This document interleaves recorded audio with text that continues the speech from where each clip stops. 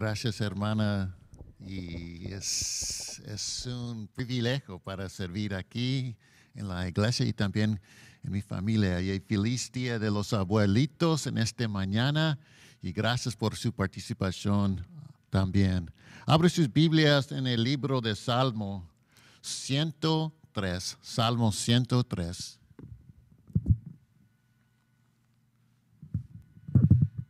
Gracias otra vez más por este domingo, este privilegio para celebrar la presencia del Señor aquí también y con nosotros y también aquí en esta cultura. Dios está aquí y Dios está con nosotros. Salmo 103. El primer, los primeros versículos dice, bendice alma mía a Jehová y bendiga todo mi ser su santo nombre Bendice alma mía a Jehová y no olvides ninguno de sus beneficios. Él es quien perdona todos tus iniquidades. Él que sana todas tus dolencias. Él que rescata de hoy tu vida. Él que te corona de favores y misericordias. La palabra del Señor Gracias a Dios. Oremos.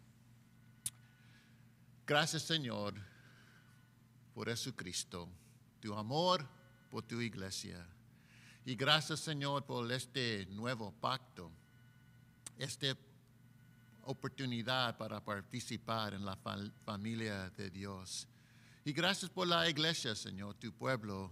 En este momento, Señor, es mi deseo, Señor, para servir, Señor, con tu palabra y a presentar las buenas nuevas, Evangelio. Y gracias Señor por este momento precioso, Señor, de alabanza, de palabras, Señor, de, de, recuerda, reflexiones, Señor. Gracias, Señor, por este momento. Ayúdame, Señor, para proclamar tu palabra. En el nombre de Jesucristo. Amén y amén. En este momento es un día muy especial aquí en la iglesia y también en el mundo o también en los estados, países de Estados Unidos. El primer domingo después del día de trabajo se reconoce como el día de los abuelos. Los abuelos y los niños tienen una conexión especial que se ha demostrado que hace que los abuelos vivan más tiempo y también que hace que los niños sean más las capaces de resolver los problemas de la vida. El Día de los Abuelos es una oportunidad para atesorar esa conexión y reflexionar sobre esa relación de calidad que tiene tanto beneficio. Los abuelos tienen muchas experiencias que pueden ser sabias para los nietos. Los abuelos de la fe transmiten fe y experiencias en la confianza en Dios a lo largo de la vida. Los abuelos tienen, tienen, un testimonio de cómo el Señor los sacó y los llevó a triunfar en la vida cómo el Señor estuvo presente en la perdida, consuelo en la desesperación y activo en las transiciones. Estoy agradecido por un abuelo y una abuela piadosos, ambos que amaban al Señor, a la iglesia y la familia. Ambos me dieron experiencias en el Señor y en la vida Hoy recuerdo, yo recuerdo a mis abuelos y yo me apoyo en sus hombros mientras adoro al Señor y sirvo a su pueblo. El domingo pasado comenzamos una serie sobre la historia del Evangelio, mirando el libro de Génesis y el comienzo de la gran historia llegamos a comprender que Dios eh, crea, Dios redime y Dios restaura. Hoy volvemos a la historia de la Biblia y al establecimiento del pacto. La naturaleza del pacto de Dios es una relación muy especial con su pueblo. La historia del pacto no fue un contrato entre dos partes, sino una promesa de Dios. La palabra pacto aparece por primera vez en Génesis capítulo 6 y versículo 18 y se menciona a lo largo del Antiguo Testamento. El término pacto significa, significa una unión. En la Biblia, la palabra pacto se traduce en hebreo más de 300 veces. Un autor escribe la historia que comenzó con la creación del cielo y la tierra termina con una, un nuevo comienzo. Redimir es volver a comprar, pero restaurar es devolver. Dios tiene un plan de pacto para su pueblo y ah, ah, también resulta en restauración, volviendo a tener una relación correcta. Algunos de nosotros lo hemos experimentado tiene lugar en el libro llamado Éxodo. Y Éxodo que proviene de una palabra hebrea que significa salida. Y se refiere a los israelitas que salían de Egipto, el evento que define en el libro de Éxodo. El libro trata sobre la vida y acciones de Moisés mostrado dos actos redentores. El éxodo, el éxodo de Egipto y el establecimiento del pacto a Sinaí. Redención. Dios nos saca. Restauración. Dios vuelve a poner. Leemos muchas cosas en Éxodo, pero no debemos perder de vista un tema fundamental en el libro. Dios tiene un plan para su pueblo. Yo sé que me alegró mucho de que Dios tenga un plan para su pueblo. Entramos en Éxodo, donde, donde se había producido una transición otra gran historia. Solo 70 personas habían llegado a Egipto. Sin embargo, cuando salieron de Egipto, se cree que contaban con 600 mil hombres, mujeres y niños después de 430 años. Sin embargo, hubo un cambio, el poder político. Para los hebreos se habían convertido en víctimas de la servidumbre en lugar de huéspedes en Egipto como la habían sido antes. Ahora eran indeseables. Ahora eran una amenaza. Sin embargo, ese es también el contexto de otra gran historia de la Biblia. En el capítulo 2 de Éxodo comienza la historia de Dios liberando a los israelitas de esclavitud con el nacimiento del liberador mismo. En el capítulo 3 aprendemos sobre el llamado de Moisés.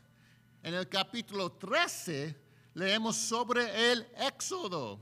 Miren en capítulo 13 y versículo 21, la palabra de Dios dice, y Jehová iba delante de ellos de día en una columna de nube para cuidarlos por el camino, y de noche en una columna de fuego para alumbrarles a fin de que anduviese de día y de noche.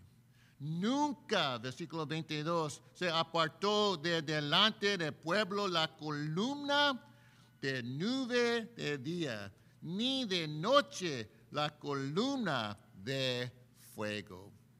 La presencia de Señor. ¿Cuántos aprecian la presencia de Señor ahora? En el capítulo 14, es el milagro en el Mar Rojo. Cuando consideramos el evento del Mar Rojo, ¿cómo no podemos apreciar la intervención milagrosa de Dios? Dios a veces obra de formas que van más allá de nuestra capacidad de comprensión. De alguna manera tenemos que llegar a confiar incluso cuando no entendemos completamente lo que está sucediendo. Milagros en situaciones imposibles. ¿Cuántos aprecian los milagros de Dios ahora? Va conmigo en capítulo 19 y empieza a versículo 1. La palabra de Dios dice, en el mes tercero de la salida de los hijos de Israel de la tierra de Egipto, en el mismo día llegaron al desierto de Sinaí. Hablan salido de Refendim y llegaron al desierto de Sinaí.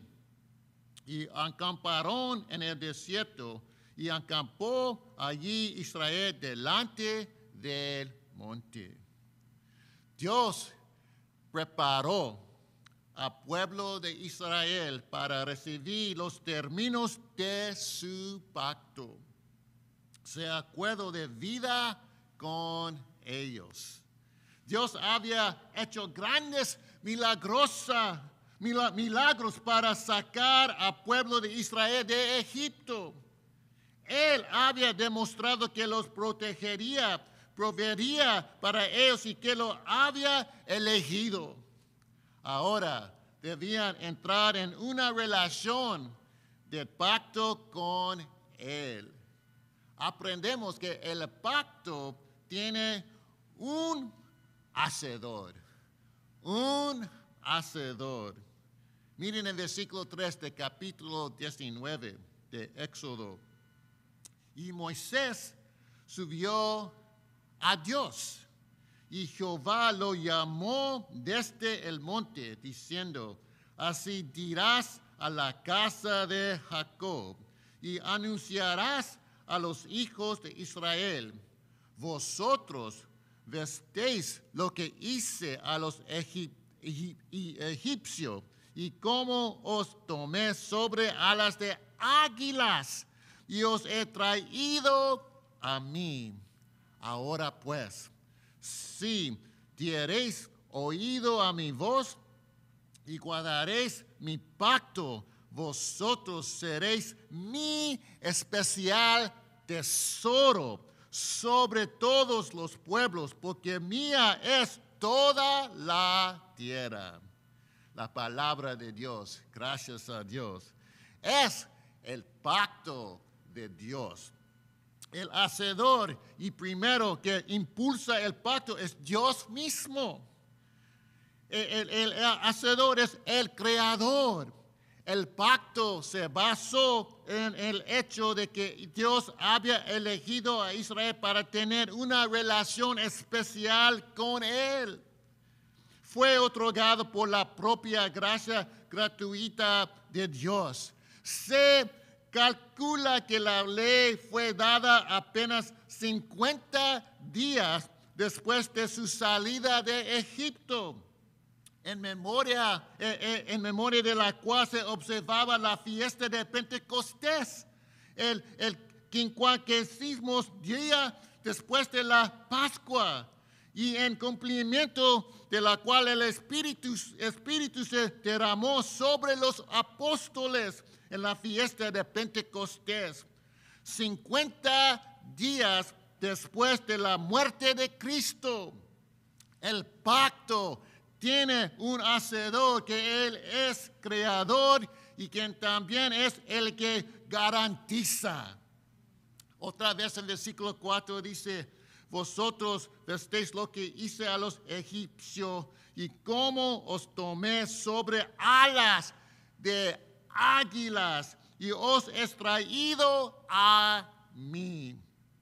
Mientras una madre águila desciende y atrapa a sus crías, Dios se preocupa por su pueblo y se acerca a sí mismo.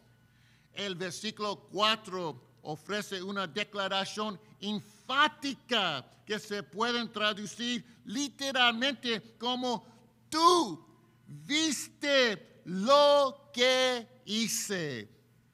Como creador, Dios también es el que garantiza. Recuerda lo que Dios hizo en tu vida. Recuerda cómo te salvó Dios. Recuerda cómo te entregó Dios. Recuerda cómo Dios le dio su presencia mientras viajaba. Recuerda cómo Dios te trajo a través del mar rojo de la vida. Nuestro pacto tiene un hacedor que es el creador y el que lo garantiza. También aprendemos que el pacto se establece con un mensajero.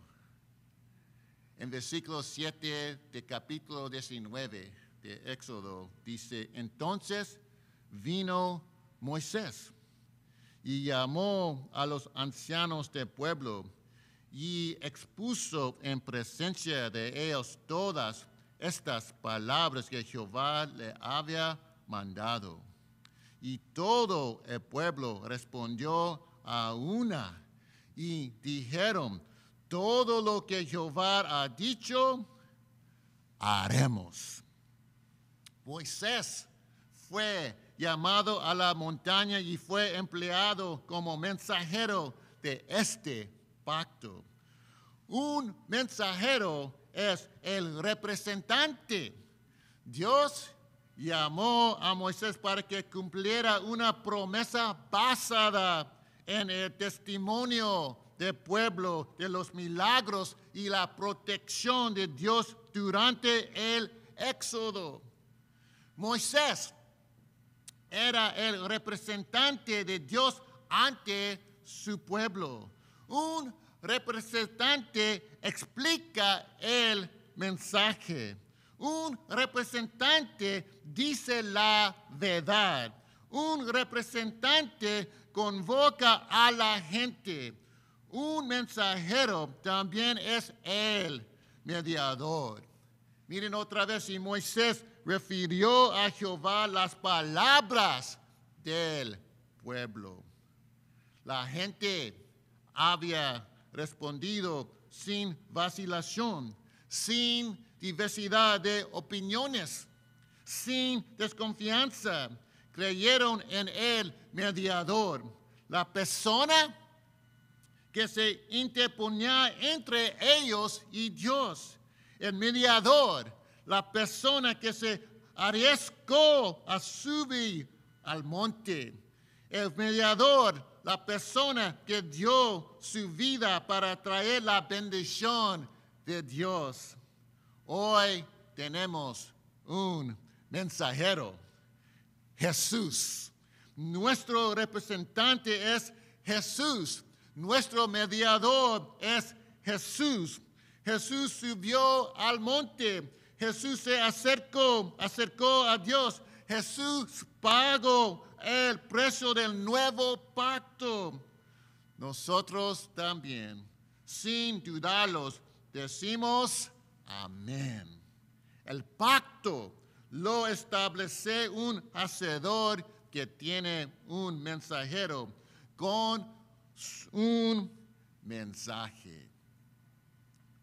Y Moisés refirió las palabras del pueblo a Jehová en versículo 10 dice, y Jehová dijo a Moisés, ve a pueblo y santificalos hoy y mañana, y laven sus vestidos y estén preparados para el día tercero, porque el tercer día Jehová descenderá a ojos de todo el pueblo sobre el monte de Sinaí. El pacto mostró cómo la gente podía continuar en esa relación con Dios y experimentar la bendición. El mensaje conllevaba responsabilidad. Versículo 5 otra vez dice, ahora pues, si diereis oído a mi voz y guardaréis mi pacto, vosotros seréis mi especial tesoro sobre todos los pueblos, porque mía en toda la tierra. Si, si obedeces, si tú mantienes. El primer paso, es el gran evento de la formación de un pacto entre Dios e Israel. Se completó con la aceptación del pueblo de la oferta de Dios. La responsabilidad es acepta el pacto, asume la responsabilidad, santificar, lava, obedecer, guarda, vive, protege para bien o para mal, para más ricos o más pobres, hasta que la muerte nos separe. Acepta la responsabilidad, conduce a la presencia del Señor. La responsabilidad y también la presencia. En versículo 11, la palabra dice, y estén preparados para el día tercero, porque el tercer día Jehová descenderá a ojos de todo el pueblo sobre el monte de Sinaí.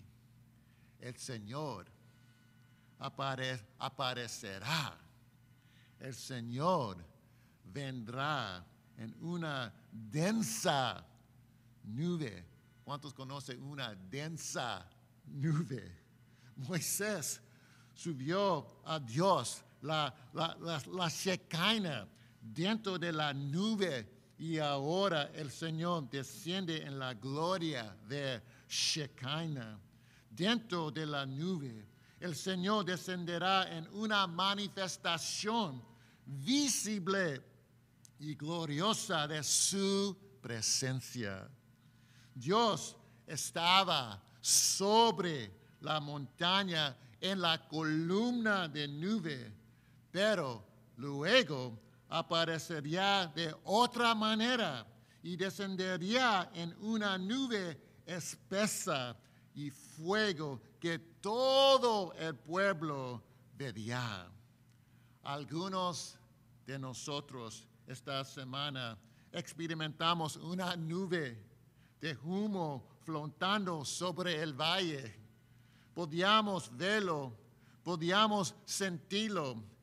El pacto tiene un hacedor, incluye un mensajero y tiene un mensaje.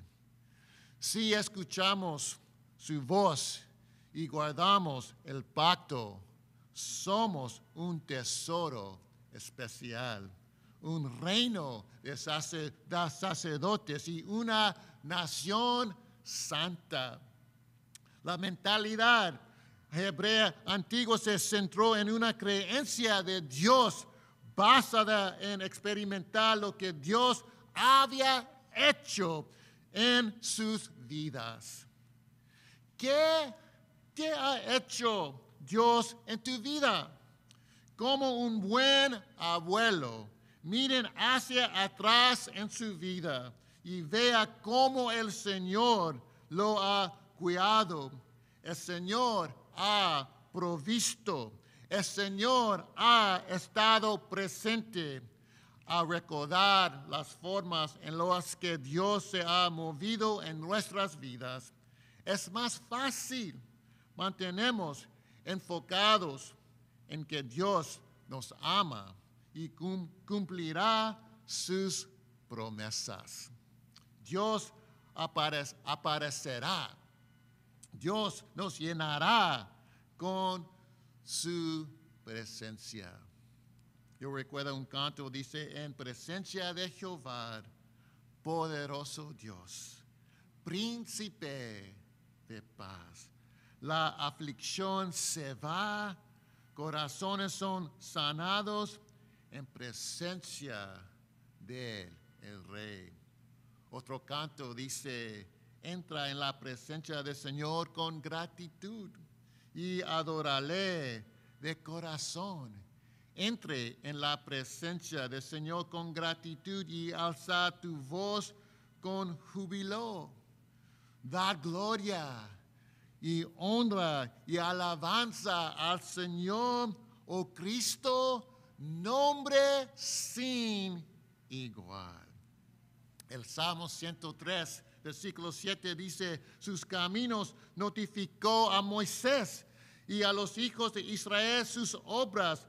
Misericordioso y clemente es Jehová, lento para la ira y grande en misericordia.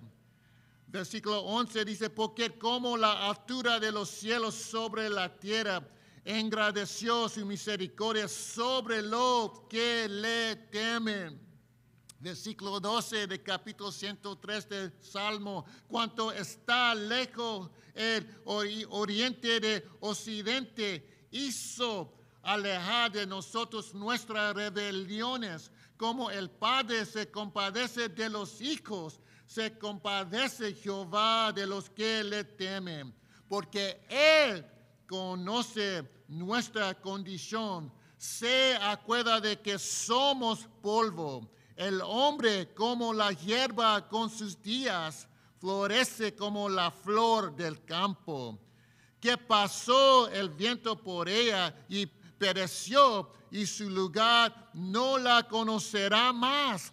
Más la misericordia de Jehová es desde la eternidad y hasta la eternidad sobre lo que le temen y su justicia sobre los hijos de los hijos, sobre los que guardan su pacto y lo que hace acuerdan de sus mandamientos para ponerlos por obrar.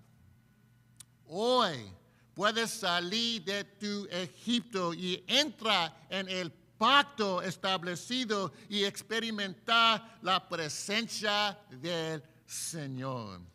¿Aceptarás? Esa es la historia del Evangelio. Tenemos un creador, tenemos un mensajero y tenemos un mensaje. Esa es la palabra del Señor. Y el pueblo del Señor dice, amén. Oremos.